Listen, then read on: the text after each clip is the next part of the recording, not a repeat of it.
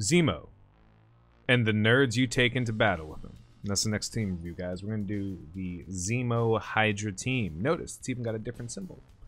Uh, and then there's others Hydra teams, Von Strucker Hydra, but that's that's comic book stuff. We're not here for comic book stuff. No one wants to talk about that. We want to talk about how the Hydra team works. If they're a good team, if they're a bad team, they're clearly only a four-person team, but so are the Marauders, and we found plenty of uses for that. So let's take a quick look at the Zemo Hydra team, how good they are as a team, and uh, where we can use. First, we're going to go straight into Blitz, so let's check it out. Uh, as you'll know, I'm using Gamora on this team. There are plenty of uh, great fifths you can use. Kingpin is a great fifth. Um, that's it. you can use some of the other Hydra characters, like if you don't have Red Skull or if you'd rather just balance it out. Hydra Scientist is a very good member of this team. Um, any healer is actually okay on this team. There's plenty of other options, but for this, we're just going to go through that as we talk about the availability. Now, as we've talked about in the past, uh, Red Skull uh, is not farmable, Taskmaster is not farmable, Zemo not farmable. But I don't really have enough time to wait for them to make these characters farmable. It's been months, months uh, since they've become available. They are in the game, they are accessible in the game, so we're going to go ahead and just figure out what everybody uh, is best at. So talking about availability, right? Just we're just going to talk about the four characters. Zemo currently unfarmable. Kingpin, he's available in the Blitz store. You get him for free with a Happy Meal, and most people have a two or three star Kingpin at the end of their starting of the game because there's an event uh, that unlocks him. Uh, Hydra Grenadier, uh, I don't even remember where he is because I just keep looking down and seeing that I got more shards on him on both my main and free to play account. Uh, I assume he's in the Blitz store, but I could be wrong. Uh, I'm not giving you this information because uh, I know for a fact you know where he is because you see him and just don't care. Uh, and of course, Winter Soldier is a node farmable character that you usually skip because why would you need Winter Soldier? Um, that's pretty much it for the team. Uh, whoever the fifth character you happen to use on this team, don't go out of your way for anybody. Just use the character that doesn't have a home right now. Kingpin does do very well on this team, uh, if for no other reason than getting a couple of assists. But where this team excels is a little bit different than where some other teams excel or how they excel. So we'll go into that when we talk about usability. And they're actually pretty usable. They're a little bit more useful uh, than the Hydra defense team. Crossbones, Hydra Grenadier, Winter Soldier, easy access. Most people have them unlocked already. Uh, and if you do have them unlocked with Baron Zemo, these guys kind of put together a pretty decent run at the, you know, villains event. Uh, the villains one fights they're not terrible at it. Mostly because of Zemo. Like, let's be clear, Zemo is the reason. Uh, but, you know, throw a healer on that team, give them a little bit of sustain, and then watch them explode and do a bunch of AoE damage. Huge boost.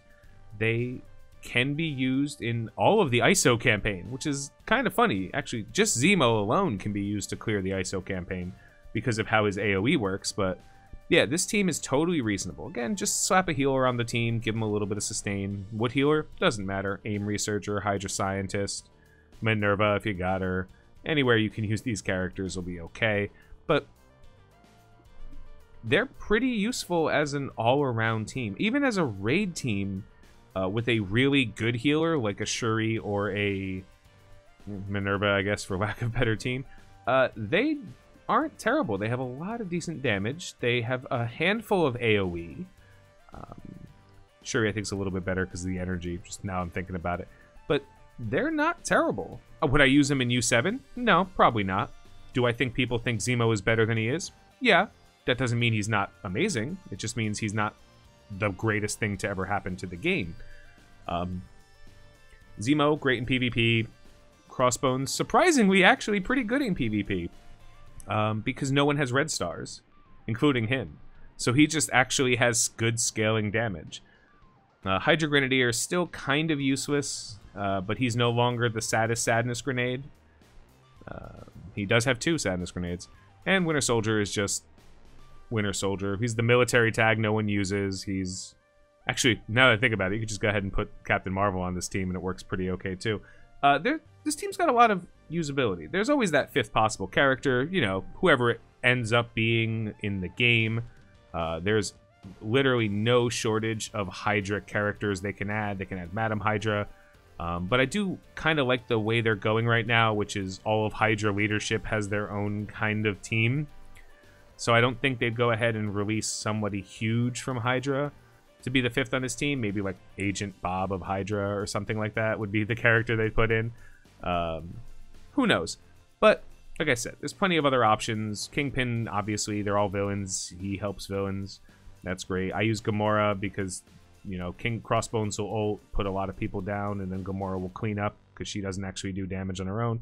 There's plenty of options. There's really no bad fifth character to put in this team because of how strong Baron Zemo is. Speaking of that, take a quick look at this team, uh, where their main use is war offense, right? That's what this team is. And realistically, it's not even this team, it's specifically Baron Zemo.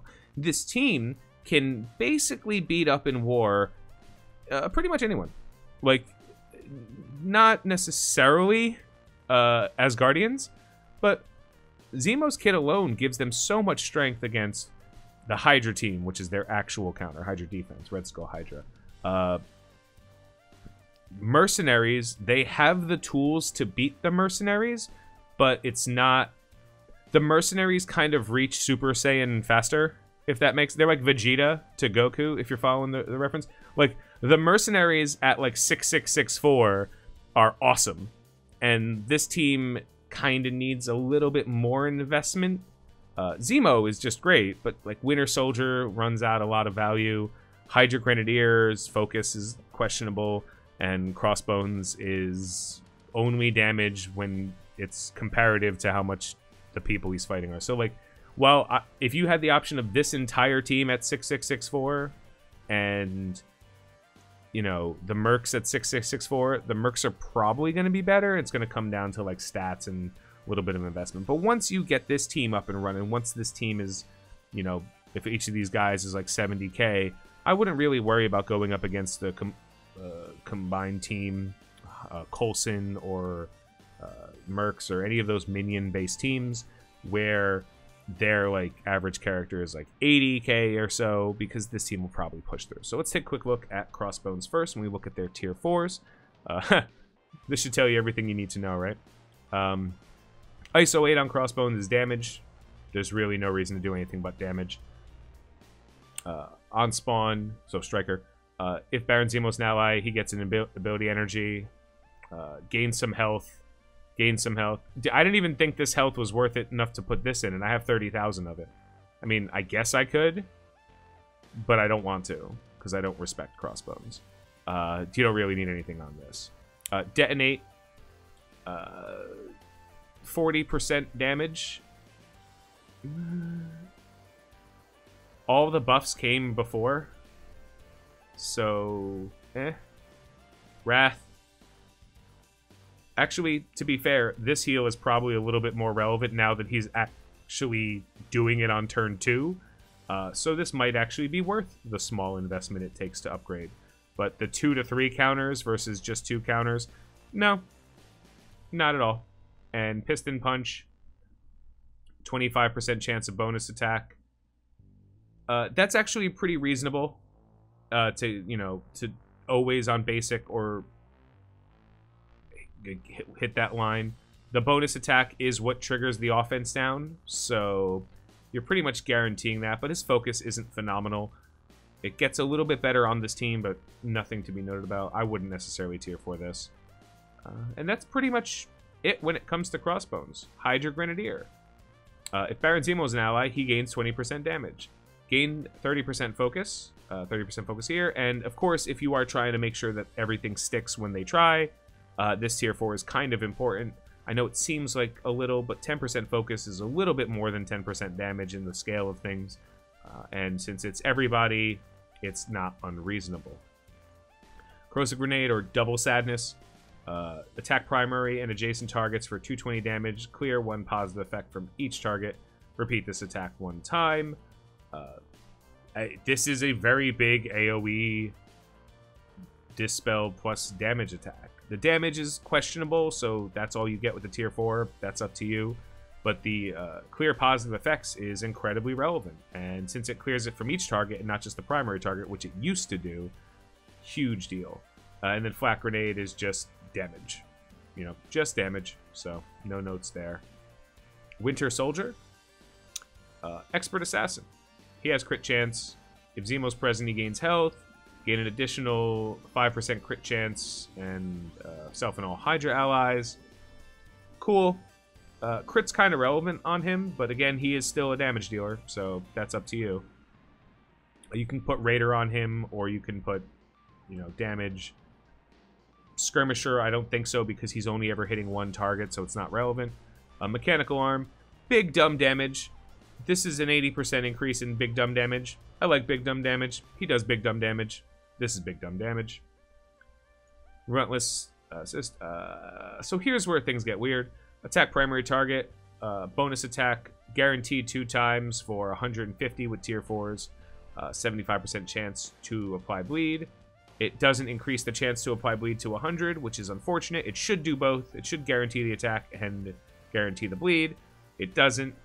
Uh, because it doesn't, this is a questionable tier 4, but, you know, it's still damage. Big dumb damage. I like damage. So, uh, and then Winter Assault or his assist. Again, I can't stand this small piercing stuff. Like, it will never make a difference. It can't make a difference. This is, like, worth... If your character is max red stars, max um, gear, you know, max ISO 8, like, maxed every stat, and he still isn't doing what he's supposed to do, I promise you 5% piercing ain't going to make the difference. You know what I mean? Like, it's not worth it if you're gonna do just damage, it needs to be real, and they just didn't do it. But I guess if they made his basic attack any more damage, uh, he would be amazing, and they don't want Winter Soldier to be amazing, so that is what it is. Really no notes on this. Uh, unfortunately, he's a bio character, even though he has a metal arm. So, takes bio gear, which means it's not going to be a lot of investment. Just thought I'd comment on that. Last, we have Baron Zemo. Zemo is great. Zemo is awesome. We love Zemo. Uh, True Leader. I'm not even going to tell you what the upgrade gets you because I didn't even look at it. No, I'm kidding. I looked at it. It was really important. Uh, his on-turn charge attack uh, is 300% damage. It goes up by 100 on both. So it's 100% uh, damage and um, and minions take 400. Like, it's huge. That's a huge amount of damage. Clear three positive effects from all enemies as opposed to two. Uh, apply disrupted always happens, so you don't get that. But 20% speed for self uh, versus the base 20, that's a huge speed increase. That's not just 10%, which we've already discussed in many other videos is good. This is 20%. This is double what it normally offers. Huge! And non-minion Hydra allies, which, um, you know... So some people will be like, well, you could put Red Skull. He's not a minion on this team. Be like, yeah, but then you literally devalue an entire other four characters that need Red Skull to survive. So that's up to you. If you don't have the other Hydra team, yeah, go ahead, put Red Skull on here. He won't become immortal uh, in war defense, so that's useless, right? Um, but outside of it, he might be somewhat useful, so that's that's completely up to you. This tier four is kind of like, I, I, I don't even want to say required. This was a pleasure to buy. You know what I mean? Um, premeditation. This is just damage. All of his goodies actually come at level five. So this is really just an increase in the damage stat. It's good damage, but it's it doesn't really change the difference. The ability block and uh, the slow is is what's relevant. Honestly, if it wasn't rebound chain, this would be a little bit better, but the chance that it just keeps bouncing back and forth and not going to other characters kind of questions it. Uh, it's still good, but the fact that he gains charge on it is relevant. It's why I usually open with it as opposed to his special, because his special is so fast it's going to fire off all the time, and I really like that passive. Speaking of his special, Dominating Blow. Clear 3 death proof from primary target. Attack primary target for a decent chunk of... This is good damage. 450. That's a lot. If primary target is a minion, attack for 900 plus 20% piercing. Murder a minion. Minions killed by this attack cannot revive. Kind of wish it just said anyone killed by this attack could not revive. Uh, I feel like the minion murder was okay, but like, you know, I like this cannot revive thing. They need to be a little bit more free with it. I think, anyway. Uh, gain 5,000 XP focus for this attack. But these numbers, sometimes you see 100,000. None of this matters. Just, th this is supposed to tell you it's supposed to happen, right? So, it is what it is. This attack is unavoidable and cannot be blocked, which is awesome when you're when you're shoving it right into a uh, shield security who's just sitting there and you're just like, nope, bonk. Really fun. Anyway, this no question uh, that the tier four is worth it. It's just a like a ton.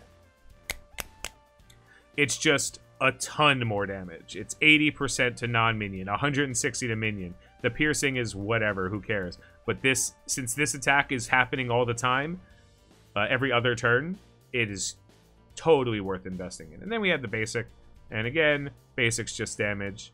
Apply assist now to Hydra Grenadier ally. Great, cool. Uh,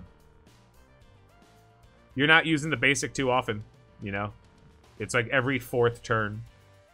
Turn one, you're ulting or using a special. Turn two, you're using a special or ulting. Turn three, if you use the special, you're using the special or you're basicing, and then you're going back. So it, it, it's there's really no reason to ever invest in this. Uh, even in PvP, doesn't really make a difference. And then as far as uh, ISOs, it's like Striker, right? It's it, he's already clearing buffs from everything he's doing anyway. You don't really need Skirmisher on him. Just put more damage on him. He likes damage. He kind of needs a little bit more damage too to kind of balance out the deal. Like, you know, his mine's 60k. Uh, as a matter of fact, the fact that I don't have Striker on him right now upsets me. I'm going to go put it on him. Um, but yeah, that's pretty much it. And then we talk about the fifths. Uh, Kingpin, uh, if, I'm not going to go through his kit, but like Kingpin gives villains a chance to assist uh, on turn on every attack of a villain. So like you know, extra damage is extra damage. Um,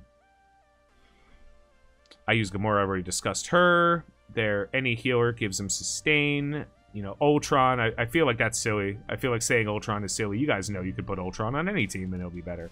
So there's a lot of good value here that you don't have to worry too much about.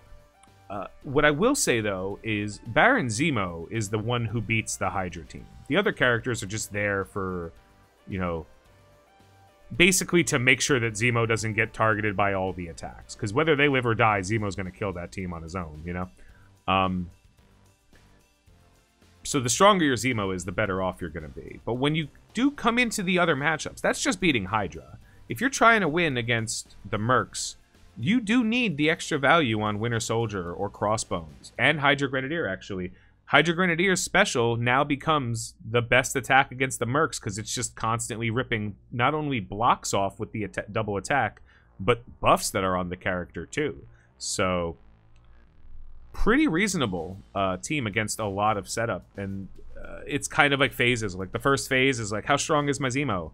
And then Zemo will be able to carry you against uh, Hydra teams. And then it's how strong do I want to get the other characters? A bio, uh, a tech, and then another tech. um, and that answer is, well, strong enough to beat Coulson Shield, which I have been able to do. Now, again, look at the power of my team. I'm not talking about 400k Coulson Shields, but like, you know, I see I've seen a couple 200 something Ks, and I'm like, oh yeah, this two at 280s. I'm like, yeah, this is fine. Uh, Zemo has the the tools to do it. Zemo can ability block the right character at the right time. Uh, they can take medic out of the fight immediately, or take out assaulter, or you know, start ripping the buffs off of a shield security and get him dead as fast as possible because he ain't going to block anything. Huge boost from this team. So uh, when we talk about a rating, uh, this team, surprising, this team is actually a little underrated. Uh, I'm to give them like an A. And I know it sounds crazy, but I think that, okay, let me be clear. This team is a B team. So I've said that. I'm giving this team an A minus, and I'm giving it because I know a little bit of something that a lot of people don't about what the future of this team is going to look like. And suffice it to say, I think that the core comp of like Baron Zemo, Crossbones, and Hydra Grenadier, I'm leaving Winter Soldier out for reasons. Uh, I think that team is actually okay. I think it's fine in Arena. I think you get a lot of value out of it. I think the team has a lot of things. It's got some AoE. It's got some some big single target damage. It's got assassinates against certain types of characters. It's got you know, buff clears. It basically only missing two things: a heal and energy. So if there was a character to come out that would get, offer them sustainability plus some energy regeneration, well, then this team would be for real. So I'll give it the B plus rating, but I'll tell you, like, don't sleep on them. This team might get a lot better in the future. Uh, but that's it. So comment below, let me know not what you think about Baron Zemo, because we all know Baron Zemo is a good character. Whether he's great or super great or god tier, that's irrelevant. That doesn't matter. He's a good character. I do want to know what you think about the rest of the characters. Like, do you think they did enough for the Winter Soldier and Crossbones and Grenadier? Have you used this team against um, anyone but the Hydra guys and been like, yeah, this is great? Comment below. Let me know what you think. Other than that, have a good night. Have a great day. I've been Tony Scungili, and I'll catch you later.